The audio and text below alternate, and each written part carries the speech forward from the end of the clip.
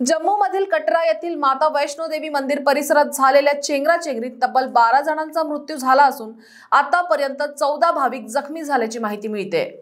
जम्बूस्थित माता वैष्णवदेवी मंदिर परिसरात चेंगराचेंगरी झाल्याची धक्कादायक घटना घडली असून नव्या वर्षाच्या सुरुवातीलाच ही घटना घडल्यामुळे सर्वत्र हळहळ व्यक्त केली जात आहे. या चेंगराचेंगरीत तब्बल बारा जणांचा मृत्यू झाला असून आतापर्यंत चौदा भाविक जखमी झाल्याची माहिती मिळाली आहे.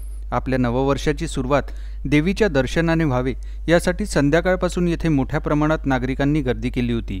पोलीस सूत्रांनी दिलेल्या माहितीनुसार मंदिर परिसरात नागरिकांनी दर्शनासाठी गर्दी करताच भाविकांमध्ये आपापसात वाद झाले व या वादाचं रूपांतर सुरुवातीला धक्काबुक्कीत व नंतर चेंगराचेंगरीत सुरू झालं. या चेंगराचेंगरीत जखमी झालेल्या भाविकांना नारायणा हॉस्पिटलमध्ये नेण्यात आले असून जखमींच्या संख्येत वाढ होऊ शकते. या चेंगराचेंगरी प्रकरणी पंतप्रधान नरेंद्र मोदी यांनी शोक व्यक्त केला असून मृतांच्या वारसांना दोन लाख व जखमींना पन्नास हजारांची मदत जाहीर केली आहे. तसेच जम्मू काश्मीरचे एल जी मनोज सिन्हा यांनी ही घटना दुःखद असल्याचे सांगत या प्रकरणी चौकशी समितीची स्थापना केल्याची घोषणा केली. तसेच मृतांच्या वारसांना दहा लाख आणि जखमींना दोन लाख रुपयांची मदत देण्याची घोषणा केली.